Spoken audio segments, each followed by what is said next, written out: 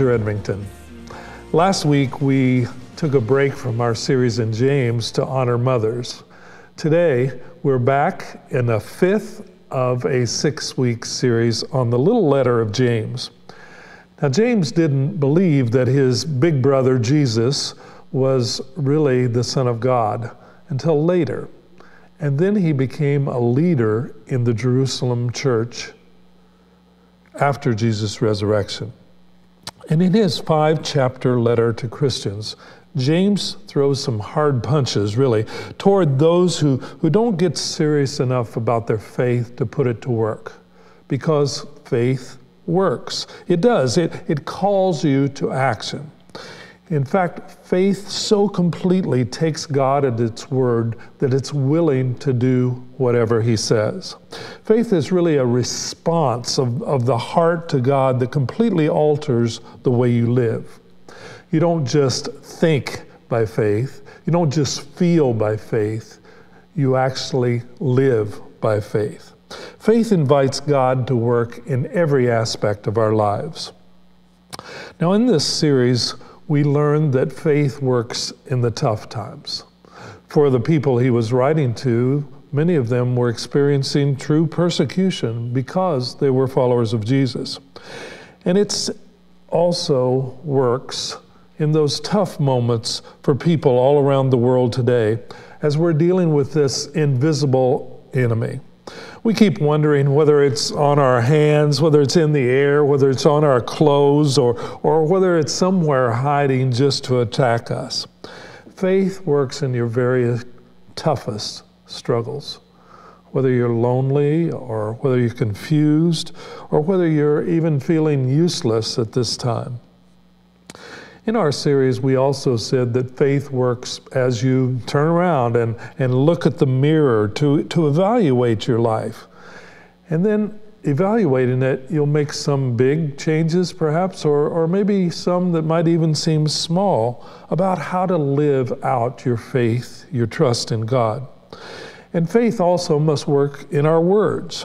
Perhaps, as we discussed a couple of weeks ago, you were uh, stirred to maybe make some changes, to commit to make changes in your words, to tackle that bad habit that you've had uh, of language that's not really honoring to God, or, or maybe to quiet that critical tongue of yours.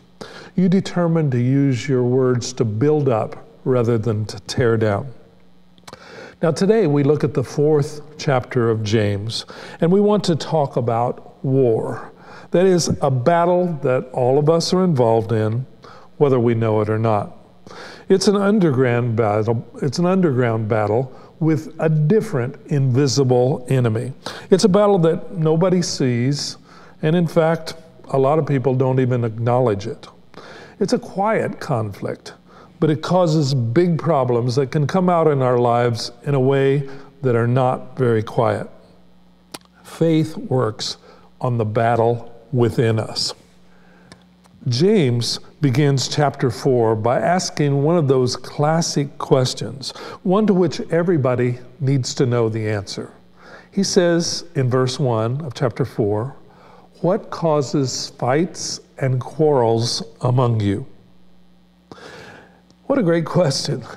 That's a great one, isn't it? I mean, what causes wars in Iraq and uh, Afghanistan? What causes wars in Israel and Syria, in South Sudan, in Nigeria, in Vietnam and Yemen? What causes gang wars over turf? And closer to home, what causes conflict? What causes arguments among brothers and sisters, and husbands and wives, and, and colleagues at work? What causes knockdown dragouts so bad that sometimes people have to call the police? What causes those fights? James is asking. And James answers it. It's, he says, Don't they come from your desires that battle within you? Somebody wants something and they don't get it. You think your rights have been violated. He should have met your need. She should not have done that to me. He shouldn't have spoken to me like that. A country fights for its national interests. It wants what it wants. You want something and you don't have it.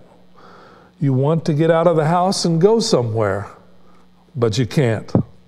So, what do you do? So, the point number one that I want to make is that your internal battle causes external wars. It's the battle within that's the most important battle in your life to win the battle over your own desires. Now, James introduces the idea of evil desires back in chapter 1, verse 14. We talked several weeks ago about how evil desire is conceived when one is tempted and then it develops inside. And when it's fully grown, it finally comes out in sinful action. And of course, the consequences we know of sin is death, spiritual death. Paul found this underground battle hit him personally, and as he explained to us in Romans chapter 7. So I find this law at work. When I want to do good, evil is right there with me. For in my inner being, I delight in God's law. But I see another law at work in the members of my, my body waging war against the law of my mind and making me a prisoner of the law of sin at work within my members. So it's your battle, it's my battle. And as followers of Jesus, we have two desires ranging within us. We have the desire to follow Jesus. We made that commitment to Him and we really want to follow Him. But there's also a contrary desire that's trying to take us off in different directions. We cannot act like there is no conflict going on. We have to address those underlying feelings and desires. Now, some of our feelings can actually lead to destructive attitudes, destructive uh, actions, both to others and to ourselves. And those underlying feelings then eventually become settled conditions that lie beneath the surface. So to deal with the surface issues is never enough. It's what's going on inside, below the surface, that really matters because these underneath feelings start to creep into other areas of your life and they begin to take over your whole personality. Often without the person even knowing it. There's something we all know about feelings. Feelings can master you, or you can master your feelings. Feelings often live in the front row of our lives, kind of like unruly children uh, clamoring for attention. And those who continue to be mastered by their feelings, such as anger and fear and lust and greed and desire for status or power or popularity, those are, are typically persons who, in their heart of hearts, believe that their feelings must be satisfied. I have this feeling, so I have to express it. I, I have to fulfill it. It just has to come out. And if you want to be really current, you add, well, it's just who I am. I just need to be true to myself. I must fulfill those desires. It's, it's who I am. And a lot of people just can't imagine who they would be without satisfying their feelings. Even the critical attitudes, the power plays that come from wounded feelings that we may have received uh, years ago at home, at school, on the playground, or at work. But this creates what Dallas Willard calls a ruined person. A ruined person. Uh, when I first heard that, I was like, wow, that is a really strong word. But we're all ruined because of sin in our lives. And here we're ruined because we allow our feelings to be God. And we know that if anything except the real God becomes a God, then it's idolatry. And of course, that's sin. Willard writes this in his classic book, Renovation of the Heart. He says, In modern times, feelings exercise almost total mastery over the individual. When people must decide what they want to do, feelings are all they have to go on. And that's why contemporary Western life is particularly prone to gross immoralities and addictions. People are overwhelmed with decisions and can make those decisions only on the basis of feelings. And as a result, people cannot distinguish between their feelings and their will, and they confuse feelings with reasons. They lack self control, which is the steady capacity to direct yourself to accomplish what you've chosen or decided to do and be, even though you don't feel like it. Without self control, people drift through the days and years using addictive behavior to endure. So, what do you want for dinner tonight? Would you like hamburger or fish or, or chicken or ice cream? Now, following your feelings on that could be pretty harmless, really.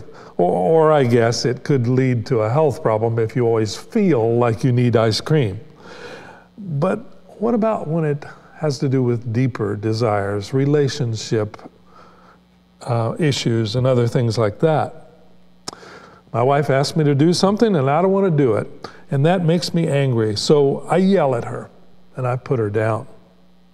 I like flirting with that lady over there, so I will. I don't feel like paying all my taxes this year, so I think I'll just fudge on them a bit. I like the way I feel in that car, though even though it'll put me in debt, I'm going to do it anyway.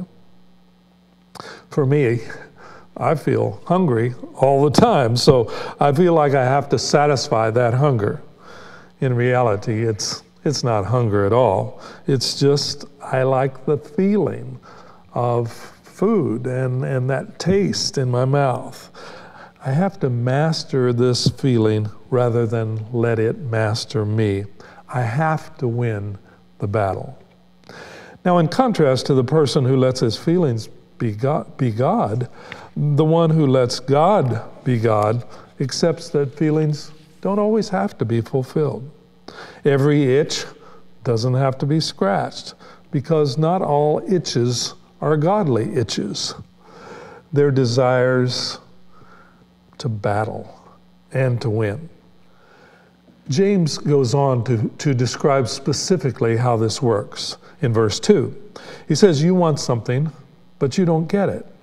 You kill and covet, but you cannot have what you want. You quarrel and fight you do not have because you do not ask God. And when you ask, you do not receive because you ask with the wrong motives, that you may spend what you get on your pleasures. So James tells us our second point here is your desires are worldly, not godly. Now, there are two ways in which this is worldly. First, you use the world's methods. That is, you want, but you don't get because you want, but don't ask God. The people who James writes about may call themselves Christians, but they're really full of jealousy and selfish ambition, anger, and, and other ills that just really mimic the culture around them. It's not following Christ if you just duplicate the world around you. And when someone wants something, they just use the world's methods to get it.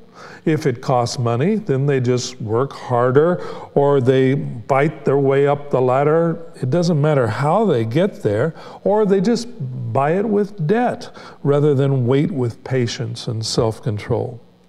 They envy and covet and do whatever it takes to get what they want. Now, James actually takes this to, to a real extreme. He says, You kill and covet. And some people, of course, actually do kill someone to get what they want. But I think the more likely temptation for most of us is just to kill somebody with our words or kill somebody by cutting them off out of our lives. But really, that doesn't bring people what they want. And you and I both know by experience that quarreling and fighting don't really get you what you want either. I have plenty of experience growing up of quarreling and yelling at my older sisters to try to get what I want.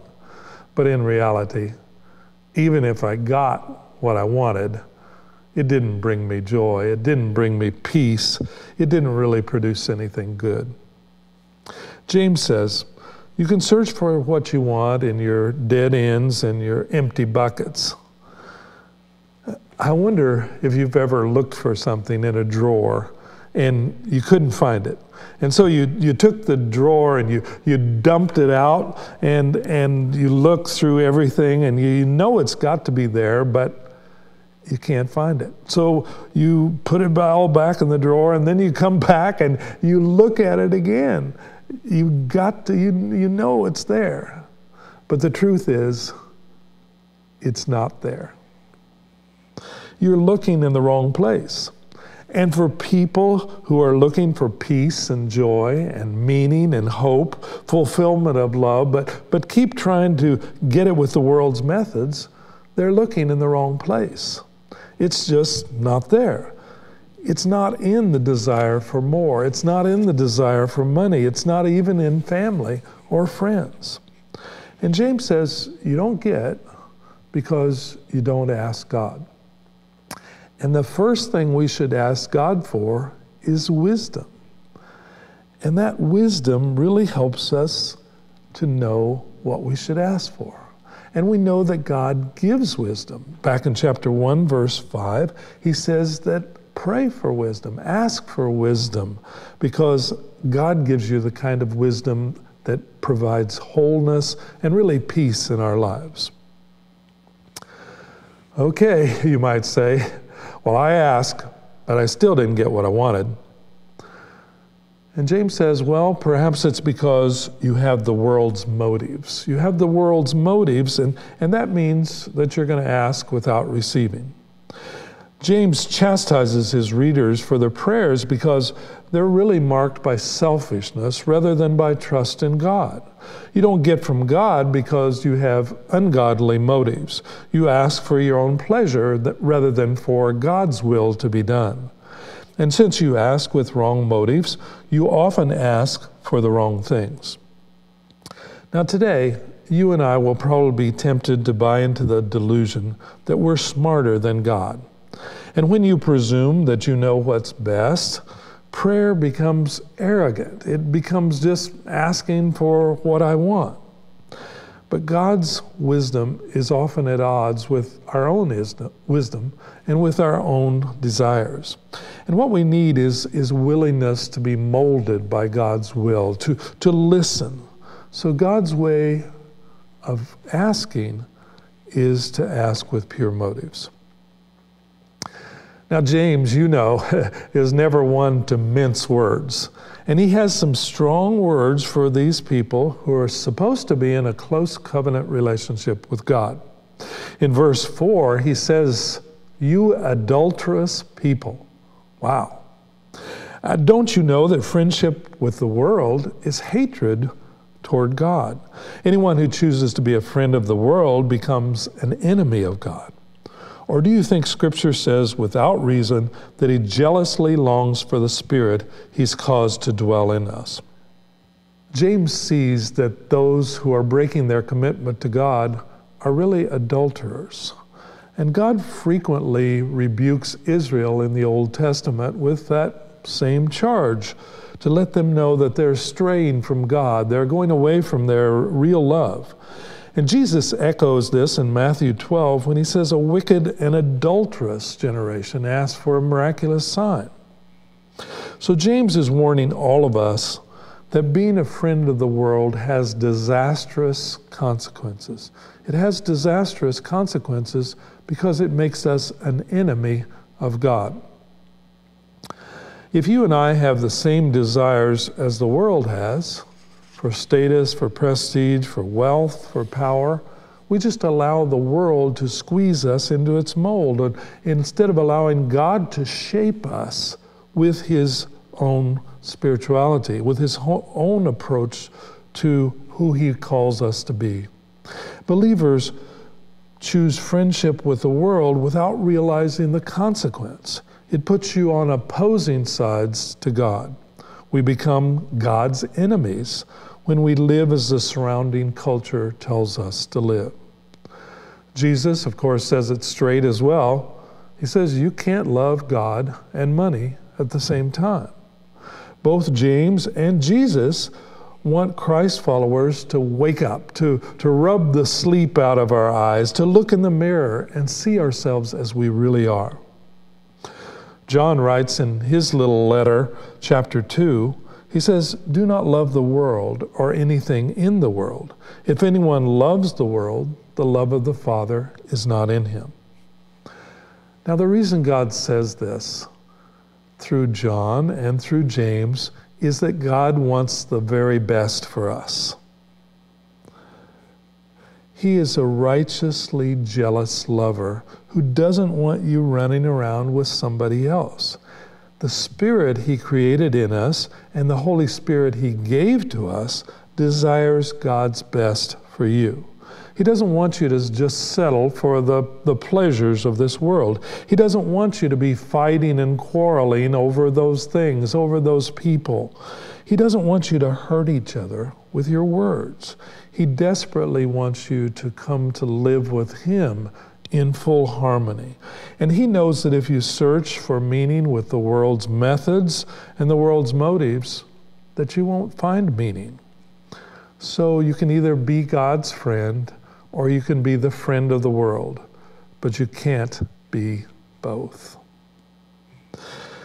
But God offers a lifeline. I'm glad He does. He offers a lifeline for those of us who sometimes don't know how serious the situation is when we follow the ways of the world.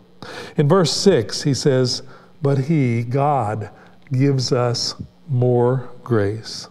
It's not just a one time thing, He gives us more grace. And that's why Scripture says God opposes the proud, but gives grace to the humble. So, the fourth point I'm making here is that pride limits your receptivity to grace. If you're thinking only of yourself, if you're thinking only of your own desires, what you want, how much you've accomplished, you can't receive God's grace. Grace is only available to those who know that they're sinful and know that they need a Savior. God opposes the proud because there's no way they can accept what God wants to give them. Humility, coming before Him humbly, is the only way to approach God. Your prayer might be like this Lord, I know I'm still proud. I'm still selfish. I still want to rule my life by myself. I know that I've been tied too tightly to the world. I'm still tempted to assess my day by what pleased me rather than what pleased you, Lord. I'm still tempted to forget that I was bought with a price, and I need your grace, Lord. I need more grace. I want to give myself to you completely, my desires, my longings, everything to you. So that's the prayer of the humble person, whom God loves to give grace, grace, and more grace. James then gives us 10 imperatives, which are kind of like a recipe of how to be humble before God. He says in verse 7 Submit yourselves then to God. Resist the devil, and he will flee from you. Come near to God, and he will come near to you. Wash your hands, you sinners, and purify your hearts, you double minded. Grieve, mourn, and wail. Change your laughter into mourning and your joy to gloom. Humble yourselves before the Lord, and he will lift you up. So, the first imperative there is to submit yourselves to God. And it starts here really because submission to God opens you to God's grace and power. Now, I have to tell the truth submission is never natural for us because, as Paul David Tripp wrote, Sin causes us to all be little self sovereigns and self appointed mini kings and queens. And what we really want is for our kingdoms to come and our will to be done right here, right now in our jobs and our families. We love being in control. We love getting our own way. We love being indulged and served we have a wonderful plan for the people in our lives. that is, if God will just submit to our will. And even though it doesn't feel natural, unless we submit to God, there's no path to receiving the grace, the, the big grace that He wants to give us. So you submit, but you must also resist. We must resist the devil in the battle. The same way that God resists, he opposes the proud, we also resist, we oppose the devil. And the reason we can resist the devil is because God and God the Holy Spirit in us is stronger than the devil. And that power of the Holy Spirit he gives believers is able to overcome Satan. The power of Satan was severe, severely curtailed at the cross and at the resurrection of Jesus. So we can resist. We have that power. God has given us the power. In the famous Screwtape Letters, C.S. Lewis suggests that there are two equal and opposite errors into which our race can fall about the devil. One is to disbelieve in its existence. The other is to believe and to feel an excessive and unhealthy interest in them. They themselves are equally pleased by both errors and hail a materialist or a magician with the same delight. So, if we don't believe in the devil, how can we resist him? And if we're too interested in, in, in him, then we will get caught in his web. So, your first freedom is where you put your mind. Nobody can control your mind but you. Now, of course, there are plenty of destructive images and negative ex- experiences that, that try to control us. But think about it people in the darkest dungeons have had some of the most beautiful thoughts. We think about the Apostle Paul when he wrote the book of Philippians was in prison. And we call Philippians the epistle, the letter of joy. And Paul shows us by that and many other ways that we can control our thinking. So I have to ask myself, with what do I fill my mind with? I mean, what ideas and images am I giving airtime to my mind? Part of resisting the devil is recognizing the images that he puts in your mind. And you have to choose to replace those destructive images with the positive ones, with the, with the meaningful ones, with the constructive ones that God wants us to have through His truth. Now, we probably don't succeed in resisting the devil by saying, I'm just not going to think about that. I, am not going to do that. No, instead, over time, we train our thoughts, we train our feelings by constantly putting God's truth in the forefront of our thoughts. Paul challenges us to renew our mind, and we must do that regularly. We often input truth and love to replace the destructive thoughts of the world, the flesh, and the devil. And James says when we resist the devil, the devil will flee from us. We think about Jesus in the midst of that wilderness, that desert, when he was being tempted by the, by the devil.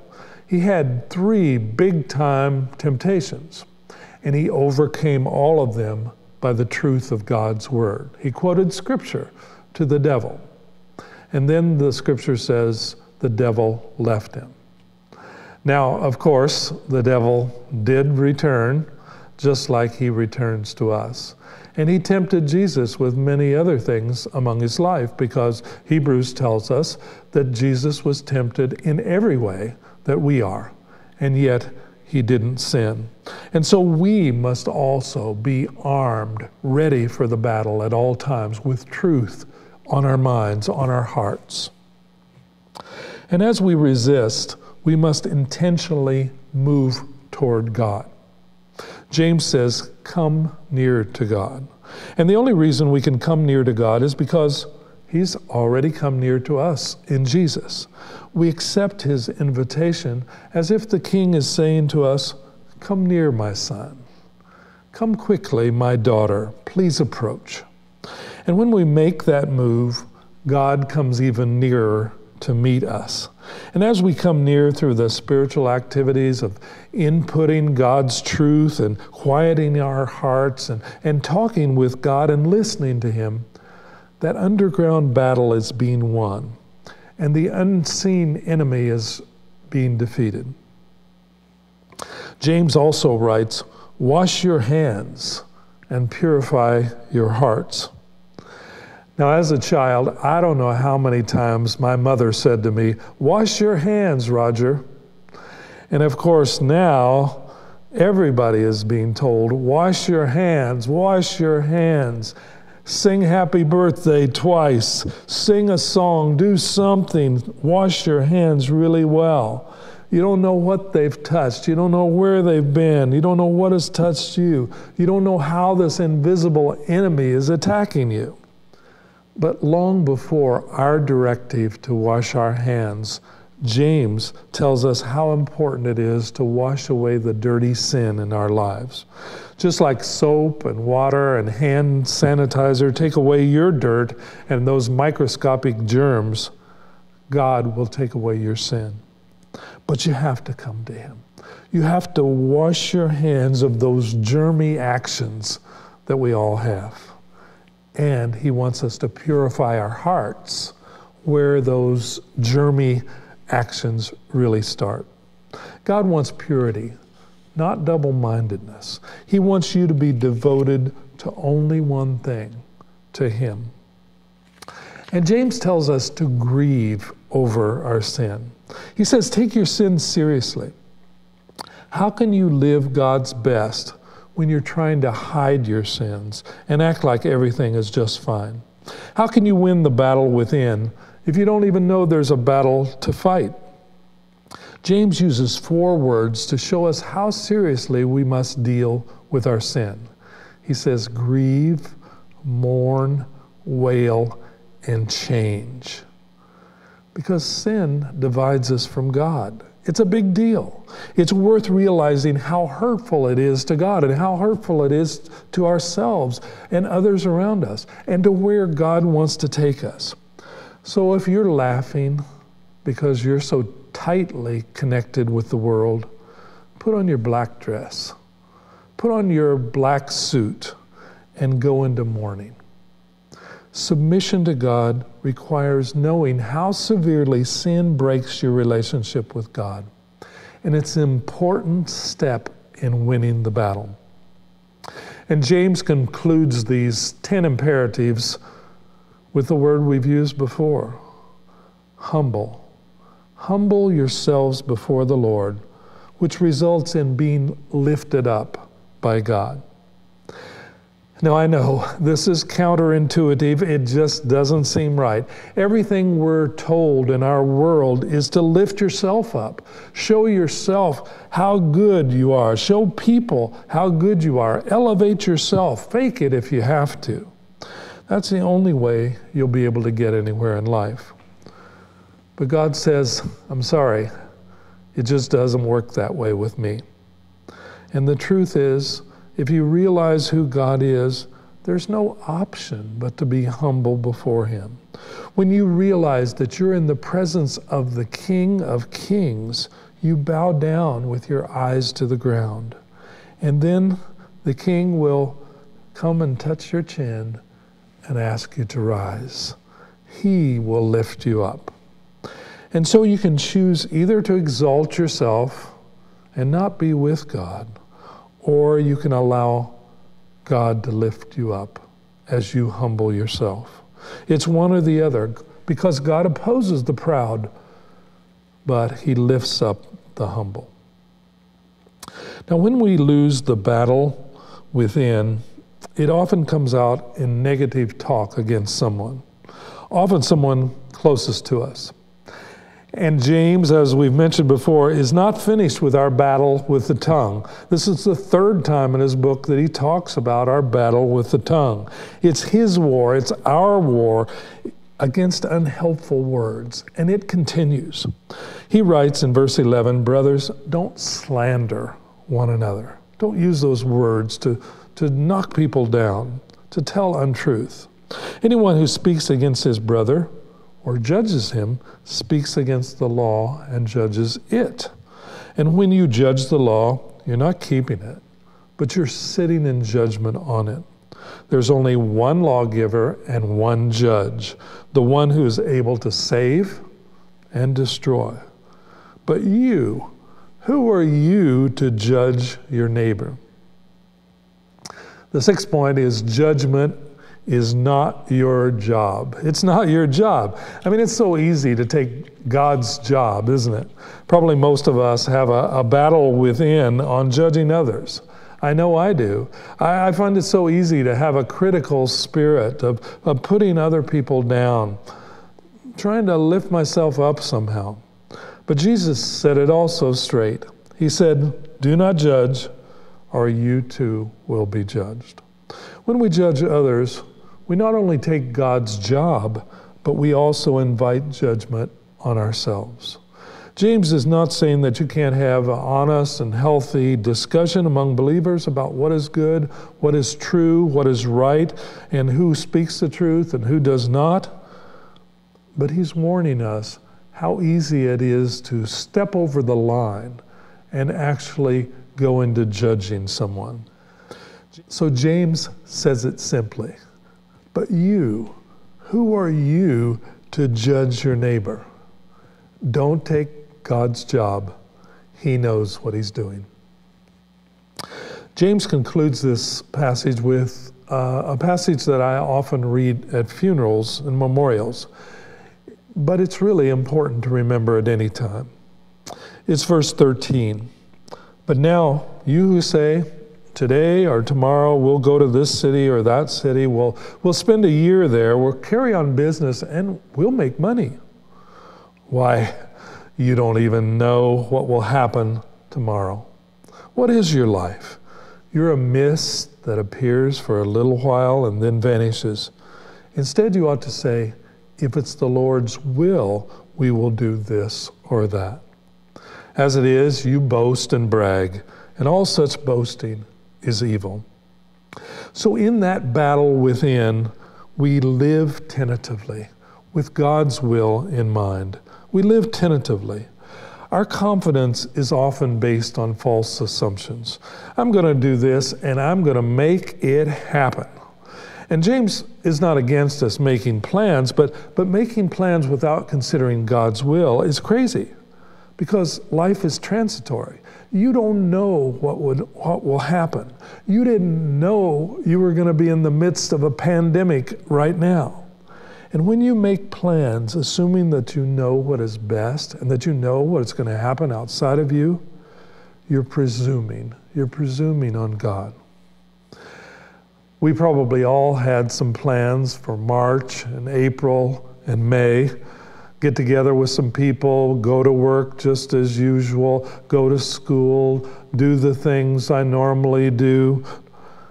I was planning to be in Israel last week with 28 other people, but it didn't happen. We've become more tentative in making our plans, and perhaps that's good. Maybe we'll consider a little more carefully. Maybe we'll live life a little more tentatively. Maybe we'll trust God's direction a little more intentionally. God wants to be involved in your planning. We're called to live dependently, trusting God's ultimate control. And when we live that way, there's no way we can be absolute. There's no way we can boast about our plans of how this is going to happen or that's going to happen, because our plans are always in God's hands too. You know, it used to be that a lot of Christians would add a phrase when they were making plans. They would say something like, I'll see you next Sunday, Lord willing. And of course, some people would add, and the creek don't rise.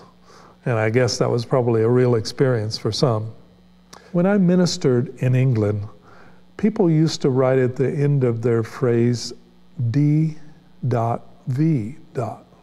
And I wasn't familiar with that phrase at all. But they would say something like, I'll write again soon, D dot V dot. And so, since I didn't know what it was, I had to look it up, and I found out it was the Latin for Deo volente, meaning God willing. And they knew that their, their plans were dependent on God's will. And saying, Lord willing, at the end of every plan uh, could be just a Christian habit. It could lose its meaning. It could even be a superstition. But it's not a bad idea to add a few words sometimes to remind yourself and others that there is a much greater power than you at work. And I've started doing this more often in my emails. It's a good reminder for me that life is temporary.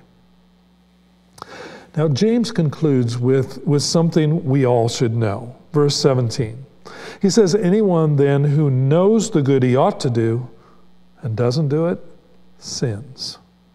Sin is not just the things we do against God, it's also the things we know are God's will and don't do. And James calls us to active faith, to do something. Faith must be working, it must be doing the good that you know to do. And the problem is, we know so much, but we do so little. It's no wonder we need God's grace. And that's why we submit ourselves to Him, so we can receive grace and, and more grace. There's a battle going on in our lives every day. It's the battle with that invisible enemy, that our desires, the desires that, that Satan has inspired in us. Faith often doesn't seem natural for us. How can I really trust God when I don't know what will happen tomorrow? But that's how faith works trusting God, humbling ourselves before Him, coming near to Him, submitting to His will, and allowing Him to lift us up and pour on grace, grace, God's grace, grace that is greater than all our sin, astonishing grace, extravagant grace. And that's what we all need to face the battle within. Let's pray together. Thank you, Lord, that you have given us the power to fight the battle within. Thank you that your grace is sufficient. It's sufficient for all our trials, all the difficulties that we have.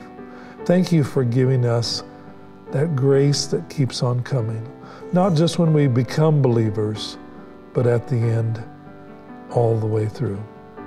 Thank you, Lord, that your grace is big, big, and I need it, Lord. And just be with my friends who listen to this today, and may we receive your grace with humility. In Jesus' name, amen. And now it's time for us to have communion together, even though we're apart. I'm here in uh, the church building of Blossom Valley Bible Church, but we must never forget that we are the church. You are the church. Whether you're at home or whether we're all together, whether you're completely alone or whether you're with some family or maybe some friends. So this would be time to get together your your uh, communion elements, maybe some uh, bread or some crackers, um, maybe some sort of juice. Uh, grape juice is always the best uh, to remind us of what Christ did for us. Some of my most meaningful experiences have actually been having communion, not necessarily in a church building, but with some friends or with some family, and sometimes even on my own.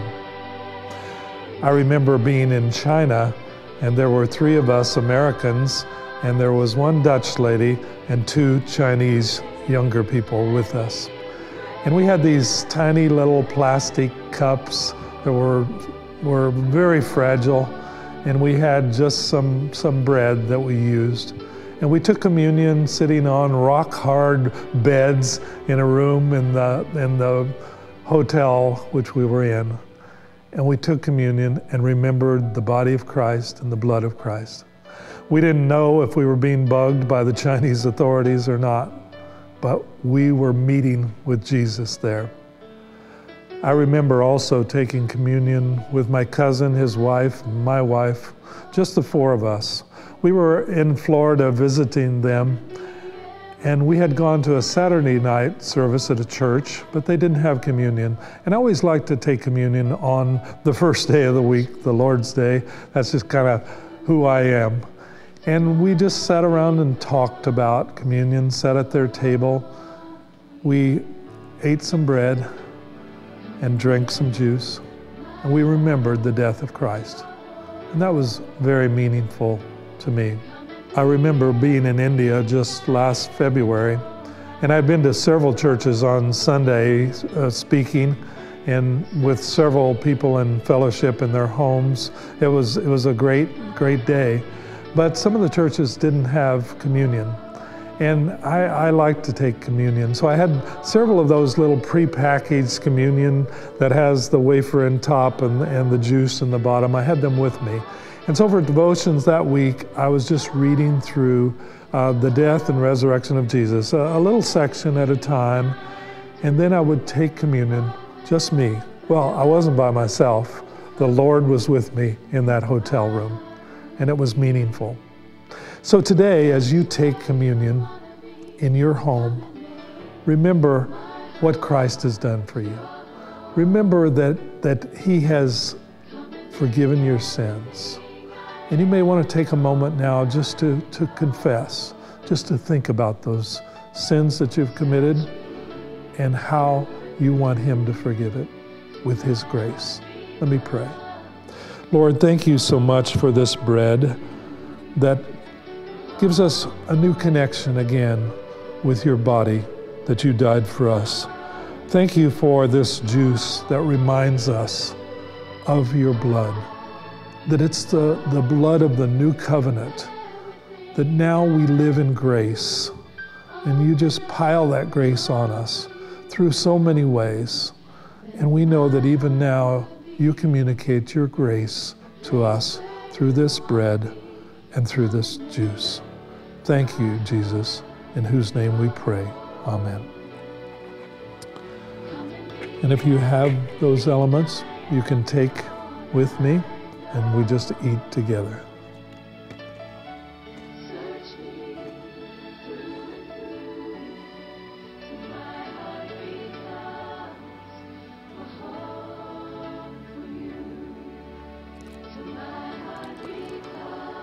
And we remember the blood of Jesus, which cleanses us of all sin.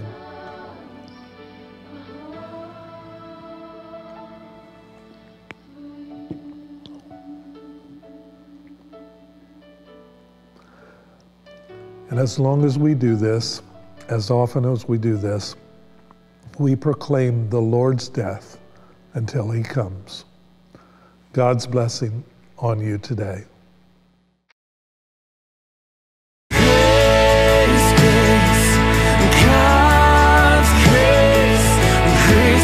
Bestowed on